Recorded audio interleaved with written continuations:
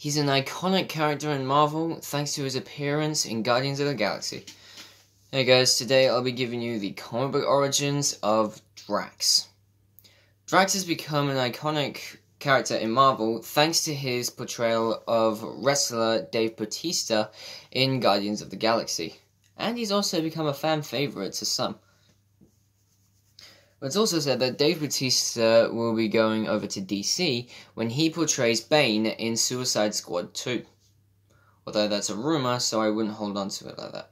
Though he could play him.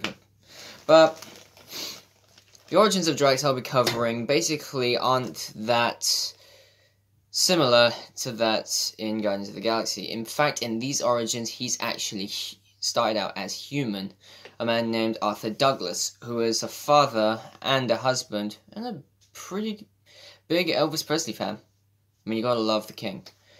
After seeing him play live in Las Vegas, he was driving the family home when Thanos' first scout mission to Earth actually came across the family, and instead of letting them live to tell the story of the UFO that they encountered, Thanos decided to kill them right off the bat. I know, it's a dick move, but he actually survived, but his consciousness was put into a new body, which would be the body of Drax the Destroyer.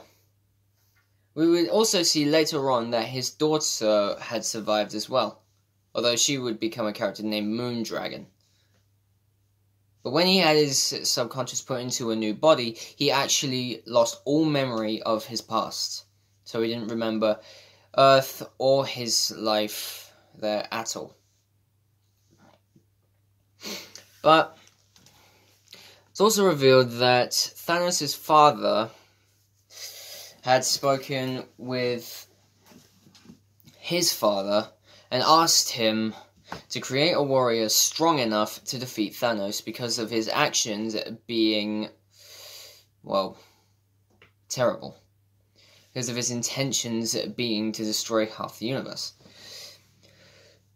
So he created Drax's body, which would eventually have Douglas's consciousness in it, and would give Drax the Destroyer, a being whose sole purpose in life was to destroy Thanos. Thanos would be destroyed, but it would be along with the help of Drax, Captain Marvel, and the rest of the Avengers.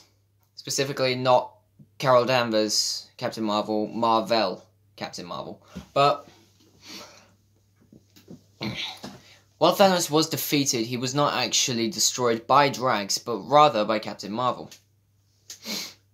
But Drax wouldn't actually have to wait too long for for Thanos to return when he would be resurrected shortly, up, shortly after in a few more issues. But his abilities include a healing factor, incredible strength, agility, and he's most famous for his work with blades. But that's it for Drax, guys. Be sure to like and subscribe and comment what you think down below. I'll come back tomorrow to give you more origin stories. See you guys.